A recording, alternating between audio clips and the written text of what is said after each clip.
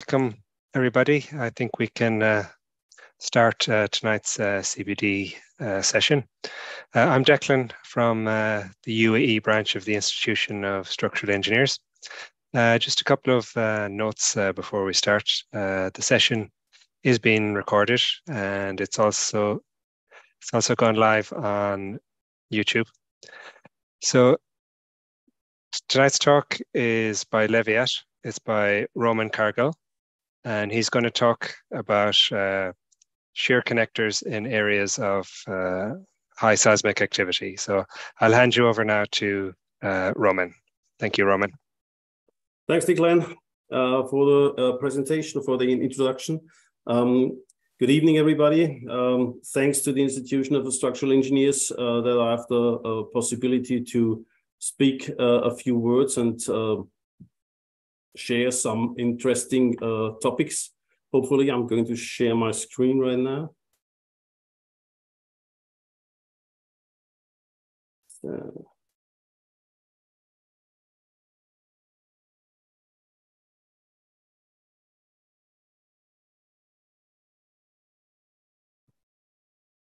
Uh, yes, we can see that. Thanks, Roman. See your screen. Perfect.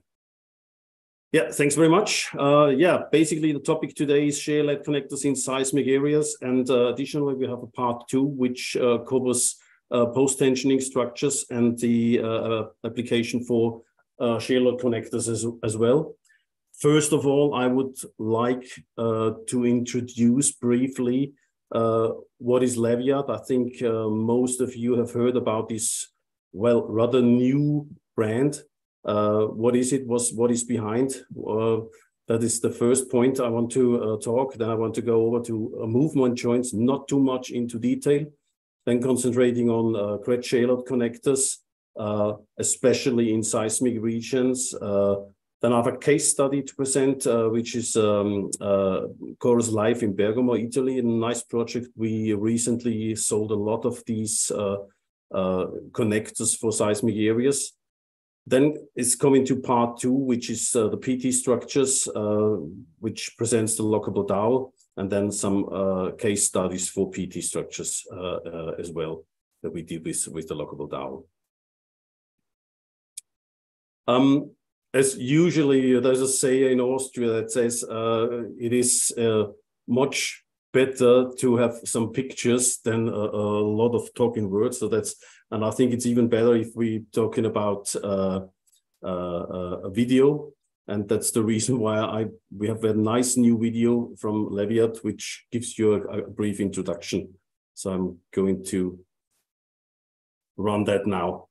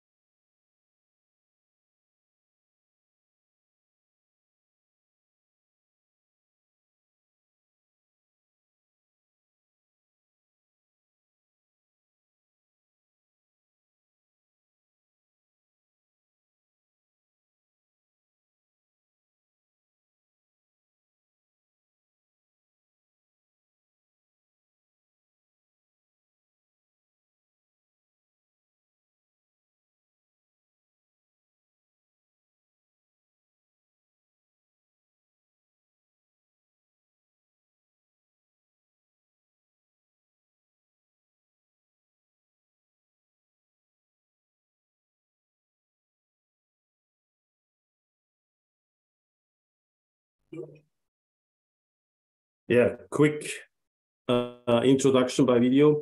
Uh, when we go back to the presentation, so basically you see uh, the, a lot of different brands which are basically merged together in, in uh, Leviat. So the basic idea was uh, when you have big brands like Ancon, Halfen, Plaka, Meadow Burke, Advan, and, and all the others uh, here listed on the on the screen, um, it is it is always difficult to put them together in one company uh, as when when one of the companies is is more or less swallowing the other ones.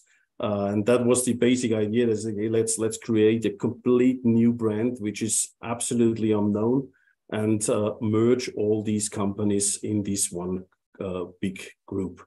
And that has happened uh, two years ago. So in total, uh, we are 3,000 people right now at 60 locations in 20 countries, and uh, we are running 23 production plants right now uh, in in global locations, as you can see, all of the blue dots here is is one of our uh, facilities. Yeah, that was a, a brief introduction about uh, the movement joints. I think some of these brands are pretty familiar to you guys. Um, now talking to movement joints. So that, that's the main topic of, of today. Um, the main application for uh, for uh, load connectors basically is movement joints. That's clear. We need them for large structures, especially when you have shopping malls, hospitals, offices, apartments, all these uh, larger structures. You are forced to do some movement joints in between to avoid cracks in uh, in the concrete structure.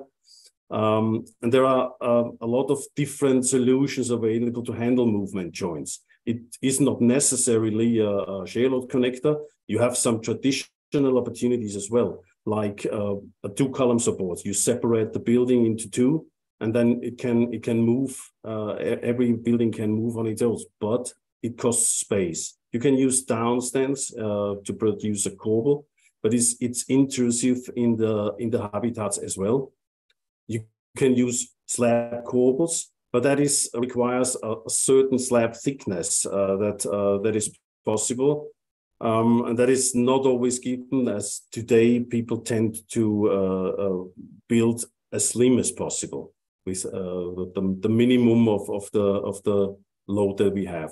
So the solution basically from Leviat uh, is the shear load connector, which is a compact and simple unit, always consists of a sleeve and a dowel part. Uh, and with that, we are able to control the movement and limit the cracks. So as mentioned, larger uh, it, it is it is is one of the main applications. But what is the benefit of those shear load connectors?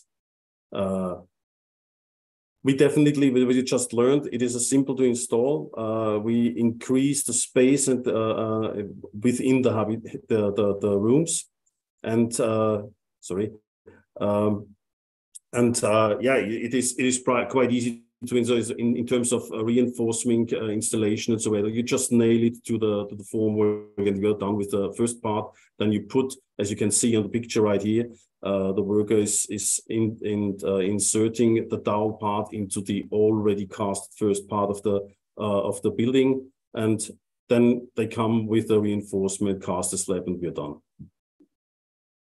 So basically, uh, as Leviat is a, a merge of different uh, uh, as, as, as Leviat is a, a, a, merge of different um, brands uh, producing even shear connectors. You see there's a wide range of uh, of different connectors available, starting with uh, a dowel from Plaka, which will not be uh, known in the Middle East, I would suppose. It is more or less in, in France and Belgium.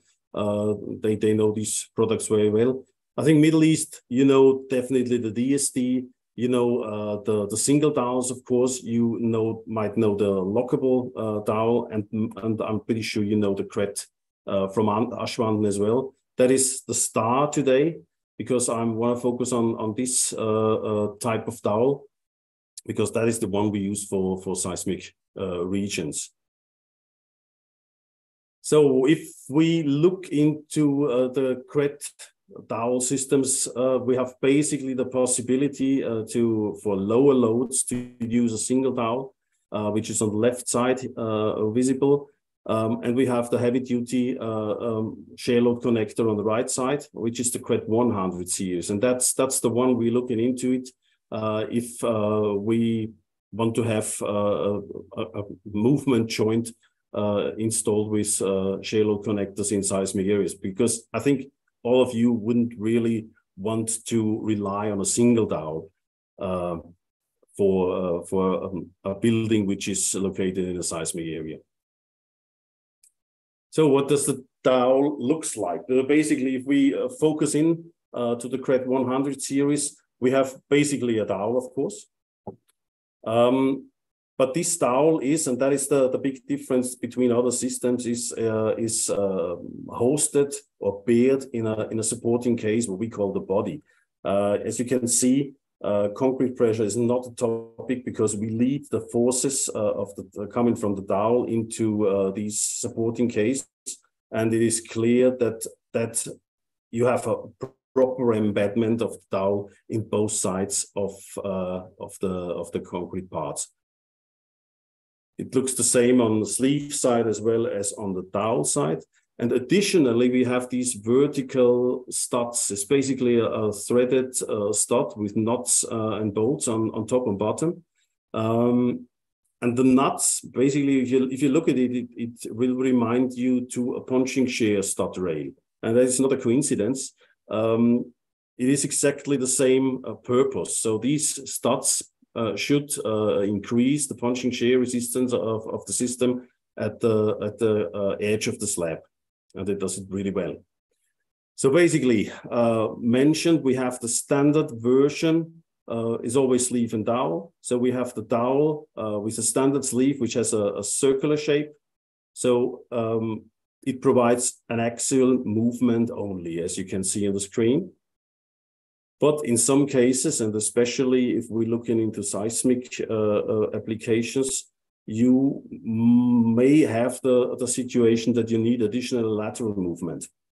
And uh, that is basically the same dowel from before, uh, but you have a suitable sleeve for lateral movement, which is the CRET V-type sleeve. Um, and in this case, you see you have a, a, rectangular section where the, where the dowel fits in and is centered uh, within the rectangular section with foams on both sides or a kind of spring uh, nowadays. Um, and that gives us the possibility of the axial movement of the standard version. Uh, but additionally, we have uh, a lateral movement possibility, which looks like this. So that's exactly the situation where I say, okay, we, we are properly set up with, with the dowels. We have that in eight different sizes up to loads of, of 700 uh, kilonewton per dowel.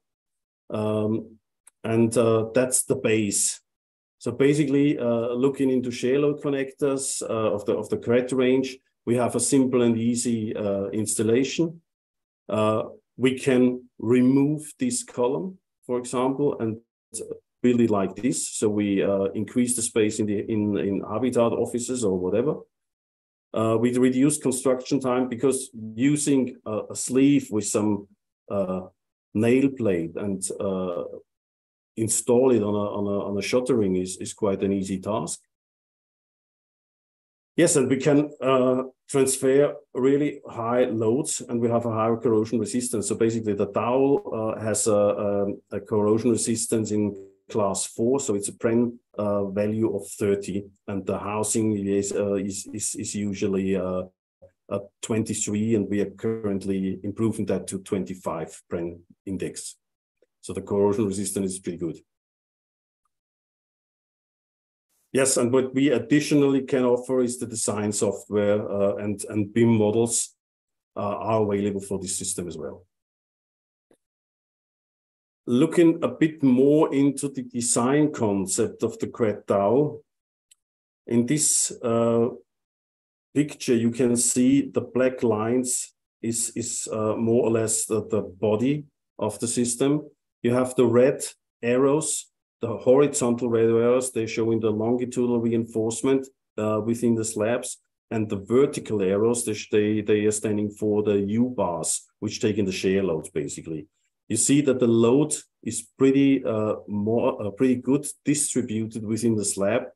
Um, and, and that's that's the reason why this uh, system works pretty well even for seismic uh, applications. So it's always when we're talking about shear load connectors, yeah, you, you need to bear in mind uh, we we bear the, the full uh, building uh, on on these movement joints on the load connector. So it's always a question: hey, do we have an approval for that? Uh, of course, we have. So basically, currently there's a, a German approval existing. There is one in Poland existing. We had one in France that um, has been expired in 2021 the reason why we did not renew this one was that we applied for an ETA, for a, European technical approval. Um, and that is currently under development. So we expect by hopefully next year uh, to have that paper ready. Um, additionally, that is already uh, agreed with the ICC in the US. Uh, we will have the ETA once it is uh, issued uh, as a base for uh, an ICC evaluation, and that will need some additional tests for seismic uh, activities as well. But what we, do uh, now is basically uh, we did, based on a product, of course, we have been asked, or we did a test in, in Chile at um, university in in Chile with a with a very uh, well-known uh, uh, professor who did these tests and looked into it uh, with the CRET 122V, so that the V is for the lateral movement, as I mentioned. And um, I think that is the base uh, of some of the projects we could uh, supply within the last couple of years, and I think it will be uh, the the base for some other projects as well. And uh, I would dive. I would like to dive uh, with you into that test scenario that we did. So basically, as you can see, we have share connectors on both sides of uh, uh, on, on, on top and bottom here, and uh, we have a, a hydraulic uh, operator that pushes these um, these axes forwards and backwards. That was the test setup. Um, and then we looked into, uh, so basically the, the test follows a, a sine curve. Um, and we took uh, as a as a as a, um, uh, as a as a base, we took one of the biggest earthquake that happened in in Chile in in 1958. Uh, so the the maximum load on uh, positive and negative has been taken from here and that was that was basically the the the, the, the starting point. And when you look into the tests, we did uh, batches of 15 cycles, and you see at the very beginning uh, you have small deformations of the dowel, but as long as it goes, um, the more the the, the deformation uh, happens to take place. Of course, but if you look a bit closer to this starting point and uh, have a look at the hysteresis at the beginning of the tests, it looks like this. So it is it is clear you have the deformation. It is it is visible here, um, and it is uh, um, this deformation is, is is kept in the system, of course. And if you go longer uh, and increase the number of uh, of cycles, what we did, you clear, clear, clearly see, sorry, um, that there is a kind of a plateau established. And that is an interesting point. So we see that eventually uh, we found that a, um, a, load plateau with a load of uh, per connector of 61.5 kilonewton has been established. That will not go forever, of course, but it seems that even if the uh, deformation of the dowel increases, the top load or the maximum load stays more or less the same. So um, putting that all together with the tests we did in Chile, uh, it's it clearly says uh, for small deformations the the gap is at uh, 1.5 uh, 1 1 to 1.5 millimeter. The plateau that we uh, um, that has been established was reached at uh, a value of 123 kilonewton, for two connectors. So um, and uh, the, the result uh, that that results in a maximum shear resistance of 60.1 uh, 65 61.5 kilonewton per connector. And that is slightly higher what we currently show in the standard brochure of uh, for for predominantly static loads. So that is a, that is a quite good base where you can uh, based on the location where you are add a, a safety factor and uh, use that in in that way. So it it, it seems that it can resist even stronger earthquakes. So um, what, what's, what's about uh, the way we build a movement joint uh, for uh, uh for uh, a seismic. You have basically two options. So uh, it is clear that a seismic excitation forces the building to move. That is clear.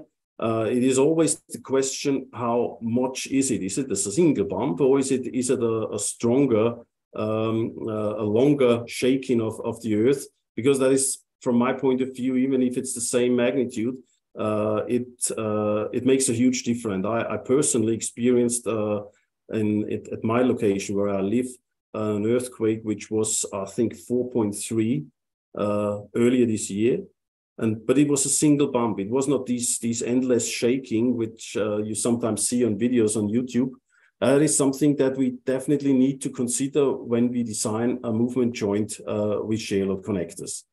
Um, because if it's a single bump or we, we don't expect a, a, longer shaking of the earth, we have the possibility to cover the horizontal loads that uh, that getting introduced into the, the structure. That is only for uh, lower magnitudes for sure. But as you can see, if you use a cret dowel in blue, shown in blue for the vertical loads as usual, but additionally some uh, in red uh, turned by 90 degrees to cover the horizontal loads. Both of them has a V-type sleeve to offer lateral freedom in this case, so in this case, we don't want to introduce a, a, horizontal load into the blue ones, and we don't want to introduce a vertical load into the red dowels. So that is one option, but it is clearly the structural engineer is the one who needs to judge uh, is that something that we uh, is the loads that that can occur is uh, are they coverable uh, by shear connectors or not and if that doesn't work uh, there is a special edition of the cret dowel, which is called the cret seismic. Uh, and the cret seismic basically is the, the, the, the same dowel, um, but, ah, sorry, um, yeah, that, that brings us to option two, sorry. Uh, the option two is uh, we don't want to take the horizontal load, we, we leave the building and let it swing. So in this case, we don't need the red ones uh, anymore. So we're just taking care about the, the vertical shear loads. Um, and the special edition basically we have for the cret range has an additional plate on the dowel on the back side of the case, which is shown here. Uh, and this additional plate um, takes care that the dowel is not uh, even on the on the on the heavy uh, um, shaking of the of, of the building uh, is not pulled out of the of the of the casing. And on the other side, we have a longer dowel, which uh, makes sure that the dowel itself doesn't so it doesn't uh, slip out uh, of the sleeve. So the longer dowel basically uh, has a maximum joint up to 120 millimeters. So we need to uh, be clear what is the, the maximum joint in case of an earthquake that could happen and uh, and the maximum loads, of course, as well. So yeah, as mentioned, you, you need for this approach, for the option two approach, we definitely need to have uh, the horizontal, uh, the lateral movement possibility, because we don't want to introduce horizontal loads into the dowel. They have lots uh, to do with the vertical loads only. And uh, yeah, that comes to Chorus Life, which is a, a nice project uh, that we supplied in Bergamo last uh, the last two years, basically, uh, which in, in total around 7,000 numbers of, of connectors of the CRET 134 seismic, which is a bigger one. Uh, the 134 means that we have a 34 millimeter dowel in the system. Looking into Chorus Life, that is a, um, a remarkable project from, from my point of view. Um, it is it is basically a kind of a smart district uh, that uh, they built into an area uh, in, in in Bergamo, um, which hasn't been used for ages. So that uh, has been all the old houses has been removed, and they they built up then that new district. So basically, uh, for, for, those who don't know Bergamo, Bergamo is in the north of Italy. Um, really beautiful city with an, an ancient uh, old city center. Um, and the, the, the new uh, the new city center in in in in in, in uh, Chorus Life will uh, provide four different squares with lots of uh, restaurants, uh, cafes, a city arena with 6,500 seats, a wellness complex, uh, a large car park, um, 74 uh, apartments for residentials, and a hotel with 107 rooms availability.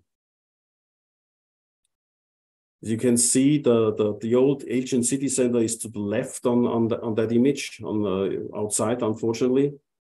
Um, the project uh, has been the, the, the, entrepreneur of that project was a, a guy um, which with uh, his name is Domenico Bosatelli, who had this vision. And when he were get in touch with a, uh, an architect, a local architect, which is uh, Joseph Pasquale, um, they brought it to reality in, in that way. Uh, the project should uh, be uh, able to replicate it um, on several locations uh, in uh, during Italy if that is a success, and I'm pretty sure it will be. And, and it is it is a, a smart city concept in total. So in total, uh, what what does it mean the smart city? So um, Chorus Life has a, a, unique power concept. It has photovoltaic panels. It has a battery for storage of the of the energy. It has a combined heat and power generation, and additionally, uh, it is connected to the Bergamo district heating plant. So uh, the carbon footprint uh, of this uh, of this smart city should be pretty low, um, which brings us to the sustainability. The smart district, uh, so they they are about to uh, getting certified on the the LEED certification for neighborhood development at gold level which is pretty a challenge. Um, even for for getting rid of uh, some contaminated uh, soil that has been because there I think one location there was a kind of a, a production a, a, a, production plant, so they really uh, removed a lot of soil uh, to have a really good base for a vibrant and healthy neighborhood.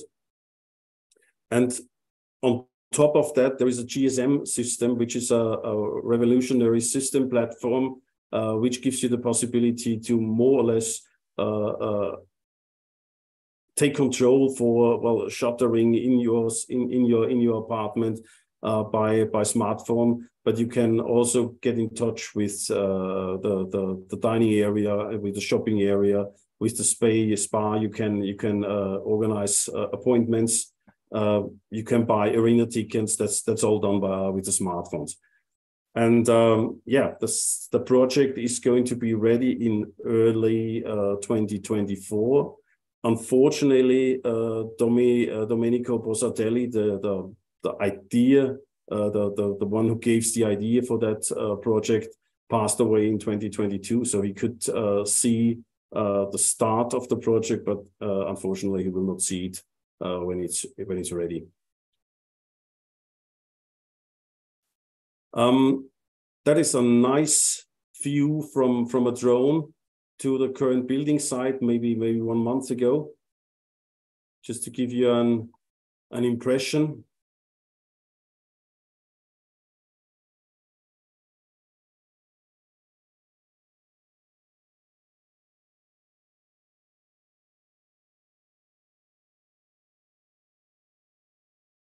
On the left side is the arena with a really fantastic uh, facade of uh, made out of uh, aluminium tiles. You see it, it comes again, these uh, sinus shaped facade. And uh, the idea behind that is that these uh, aluminium tiles are polished and they are firmly fixed to the building, but they can move. Every every single tile is able to move, and that makes this uh, special effect.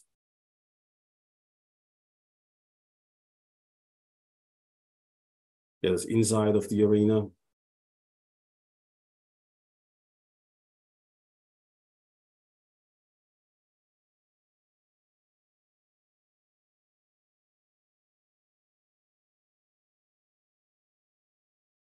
Still a building site, but um, I think quite impressive and a large area.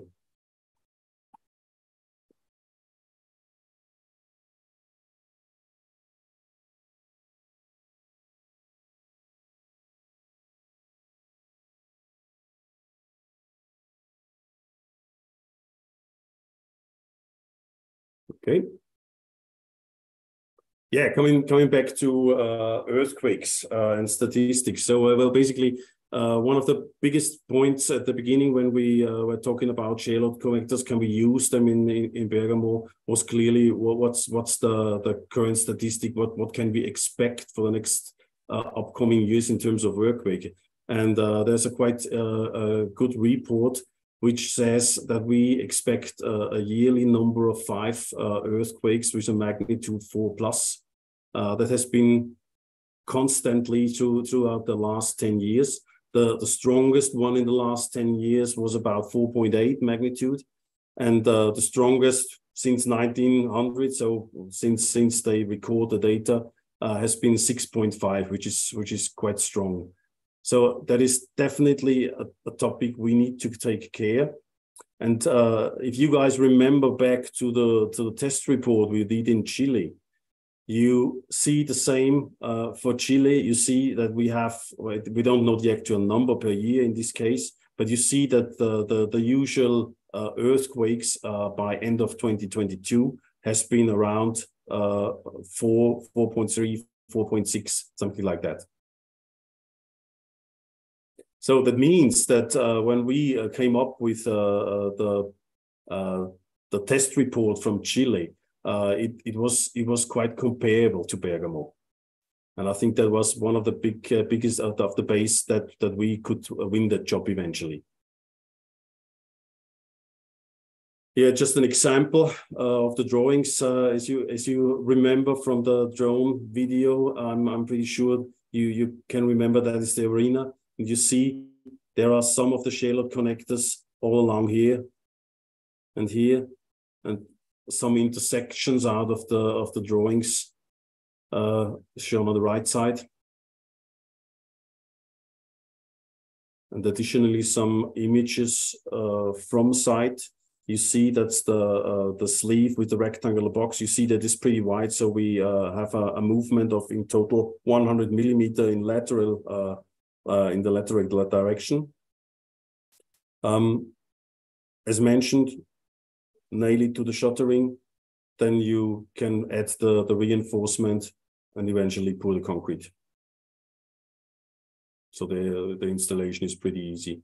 Even for the seismic it's the same like the standard dowel. Okay, that's basically uh, everything for uh, connectors in uh, seismic areas uh, with Bergamo Live. Um, I would like to come to part two now, uh, which is shear load connectors in post-tensioning structures. That is a difficult uh, um, topic as well, as we know that once you uh, strengthen the tendons or you, you, you, you, you tension the tendons, it is clear that we have some additional movement uh, in the PT slabs just because of, of these additional loads that uh, coming from, from internal, basically. So how can we how can we solve that or avoid that? So uh, we, I think we can't avoid it, but uh, what we can do is the standard a standard approach to uh, to face these uh, additional uh, movement coming from the post tensioning uh, are pour strips. That's the traditional way to do it. But as you can see, um, pour strips is always um, a bit of a problem in terms of we have a gap open. Well, let's say 14 to 90. I think in most of the most of the uh, situations, the building size, it's around 50, 60 days. Uh, but sometimes it's up to three, uh, is open to three months uh, as, as a holding period. Um, we definitely need uh, slab propping all the time. Um, the open gap, which is usually around 800 to 1000 uh, millimeter wide, uh, is a trip hazard. So you need to be careful uh, that your stuff doesn't trip in or get, getting getting hurt. Um, also, the propping provides a, a, restricted size uh, side access, uh, so you're not able to easily go through the because it's all full full with props. Um, yeah, it delays any any additional works, and of course the the the the, the construction company need to come back later on to fill the strip. So um, yeah, unslide sock fits it, it, that is that that could be a, a, topic as well if if they uh, didn't uh, place the shuttering correctly on the bed, but that happens in in some cases.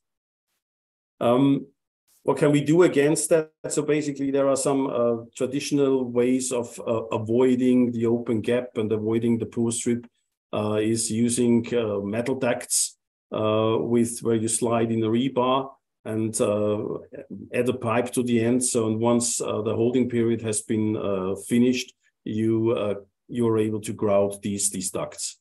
But that is as it is mostly a, a kind of a self uh, a do-it-yourself solution for some of the PT companies, uh, it's not very reliable, unfortunately. So, so basically, uh, the, uh, the the solution for that uh, is uh, coming from Ancon is the lockable dowel. So the lockable dowel basically uh, is is a, a, shear connector, as we uh, already saw before. But the difference is the difference is that we have the possibility to keep the gap open. We we can leave the the, the slab moving for um, the agreed point of the agreed time. So it could be 60 days, could be 90 days, whatever. Um, and once the main movement coming from the post tensioning has been uh, completed, uh, we are able to lock the system. So that is what we call a temporary movement joint because it, it is a movement joint at the beginning, but once the system is locked, it, it will not be able to move anymore.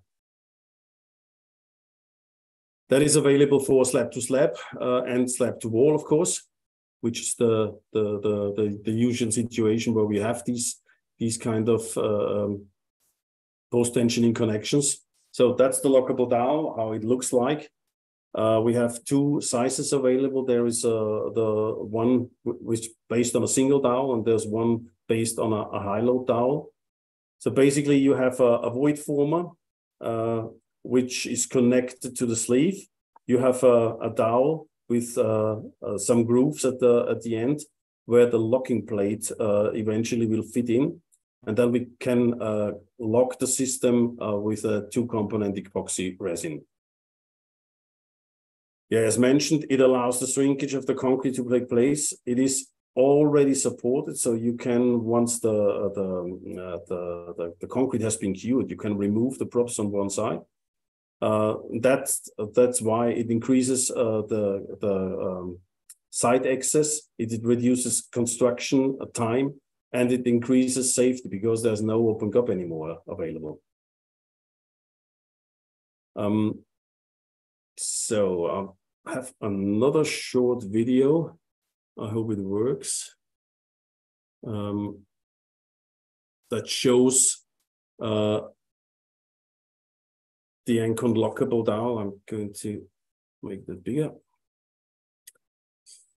So you have the sleeve here, which uh, is installed on the shuttering. Then the reinforcement is getting installed and we pour the concrete on the first side. The box lid from the void former is, is, is visible on top. So after removing uh, the formwork, you can install the dowel. Just push it in. Then same stuff again. So we bring the reinforcement into the, uh, the formwork and cast the second side. So now you see uh, the joint is pretty close because it uh, has been casted with a joint of zero. So depending on the agreed holding time, uh, the gap moves up. So then and in uh, later on, we can fill the gap, usually on a cementitious base, uh, remove the, the, the lid from the void former. And now we we have this locking plate, which fits in the groove. You can take any of these. Um, then the epoxy resin is getting mixed up. There's always one, uh, two, these two tins for one load connector, which is exactly the, the amount of resin that we need.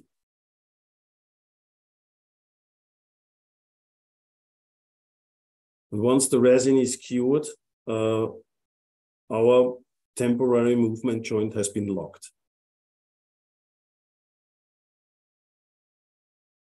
Then you can close the, the void former with some uh, uh, mortar and you're done.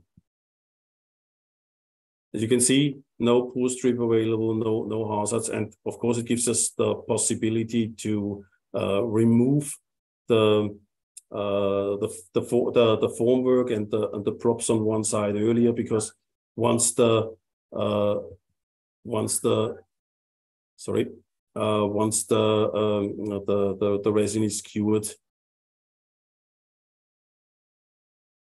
um, uh, once that the concrete is cured, you can remove the props. So you're, taking usual, the usual 28 days of, of, of curing time for the concrete. So in time of product uh, and uh, range and dimension, we have uh, two sizes of, uh, of the lockable dowel, which is the standard one that we saw in the video. It's a single dowel uh, with a appropriate sleeve. Uh, we have a, a, high load version which can take higher shear loads, but it's still a 30 millimeter dowel as the single dowel is. So in this case, the advantage is uh, base is, is only the the, the lower the higher shear load. Uh, if you need it, uh, we have um, uh, some anchors that we can place within the wall for a wall to slab connection. Um, yeah, in this case, the the dowel is a bit shorter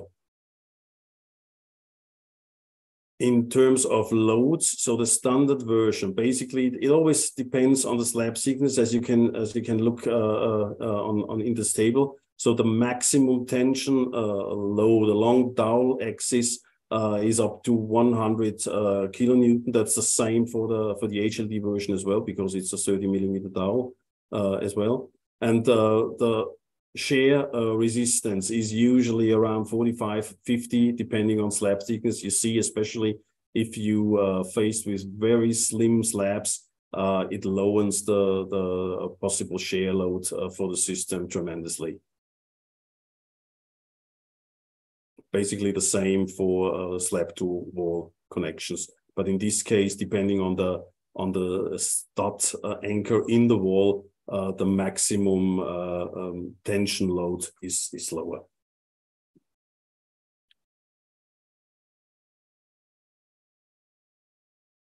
so in in total what what what's the benefit of the of the lockable dowel it it saves some time and and therefore money on the construction side. Uh, we do not need to drill any formwork. Uh, we um, have the formwork earlier available because, as I mentioned, once the concrete has cured, uh, even if the if the the lockable dowel system is open, so it's it's it's not locked, it can already take the shear load. So you can remove uh, the props underneath and and the formwork underneath. Um, yeah, we we do not have uh, additional pouring of the strips. We just need to fill the the gap that opens up uh, after the the holding period. Um, and that brings some time saving and health and safety uh, issues are not given in the same way. The easy installation, you've seen it. Uh, I think that that's that's really an easy task. And in terms of uh, safety on site, uh, we do not have the trip hazard, and we have a better, a much better sized access especially once uh, the, the concrete is cured and we can remove the props.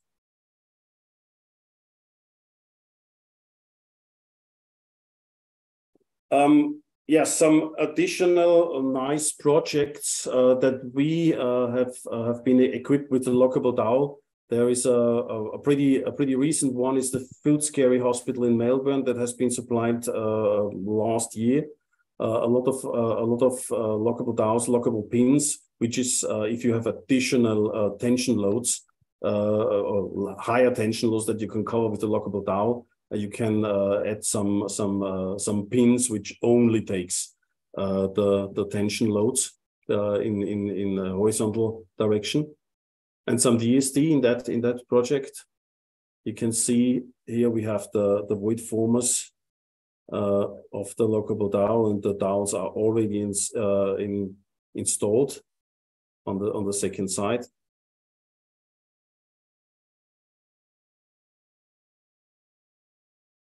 Yeah, again, void former in this in this uh, situation, the void former is a bit higher than the slab thickness, but that's not a problem. It's it's made out of plastic, so can you can easily cut it with a knife.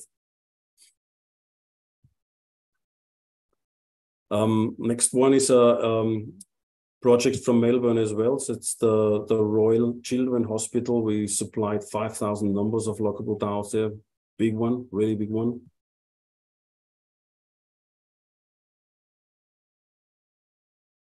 Um, one project in Brisbane with uh, 2,500 numbers of, of lockable dowel installed. In this case, we have a, a, wall to slab connection, as you can see, with pretty big slabs, considering the height of uh, of the of the of the of the sleeve. Um, a nice project, a really nice project from Oman, out of your region. We supplied 500 lockable dowels.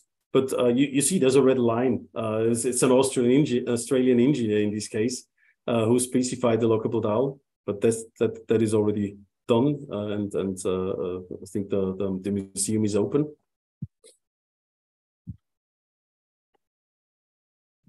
Yes, we uh, for a project in uh, in the UK, we installed uh, not not a big number, but 200 lockable dowels for uh, the university in Ipswich. And there is a nice one from the US. The US is a strong market for post-tensioning slabs as well. So we have a, a five-story building with 99 apartments, so the East Library. Um, uh, with a with a gap which is uh, 320 feet long. And pour strips uh, strips has been specified, but we were able to uh, change to lockable dowels because a, a, a, holding period of 90 days is really long time where you have these open pour strips uh, on, on, on site. And the last one from the US as well, the US colleagues are really proud of that one because it's the headquarter of the Dallas Cowboys. Uh, where we uh, won that project. Uh, yeah, because the the pour strip has significant would have significantly delayed the complete the, the the project completion.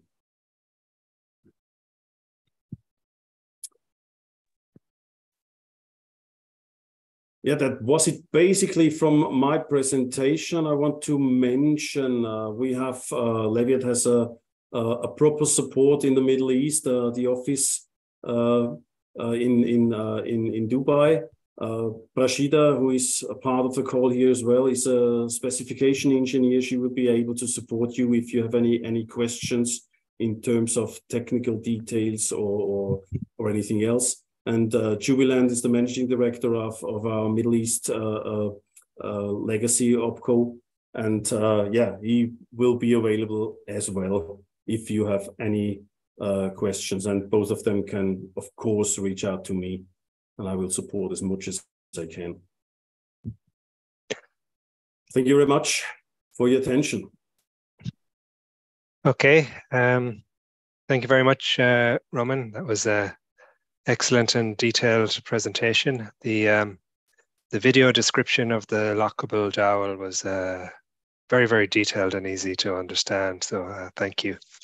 Um, one question that came to my mind, uh, Roman, was the the drone video through Chorus Live. I thought I thought it was flying fairly close to some of the columns at some stage. I thought it was going to crash. I was wondering, did any did you lose any drones? Uh, I think uh, I don't know. I'm not aware about any crashes, but it, it looks really impressive. That that was the reason why. To, to be honest, I, I found it in the web, so we didn't yes. do it on our own. uh, but uh, it was really impressive flight, and that's that's why I said I need to, yes. need to include that. Very, it was it was very very good. Thank you. Um, yeah, we've got a we've got a few a few questions uh, yeah. come in. Um, so the first question uh, from Semi. He's saying in the in the case of uh, CRET, CRET, uh, the vertical studs uh, do they have to be torqued or are they only for positioning purpose at the time of installation? No, basically they they uh, they are fixed installed to the sleeve and and and dowel parts. You just need to uh, install the the sleeve. Then then the studs are already in the in the correct position. And um, the even the, the the knots they are glued they are fixed on on the threaded stud so the, the, the purpose for those is really to increase the punching shear resistance because a, a, a shear load connector always has steel failure uh, concrete edge failure or punching shear failure. That's the three failure modes you can you can uh, have if you test until the uh, anything breaks. So these yes. these are the three failure modes and uh, we, we really uh, realized that these vertical studs increase the punching shear uh, resistance of the system. Okay, thank yeah. you.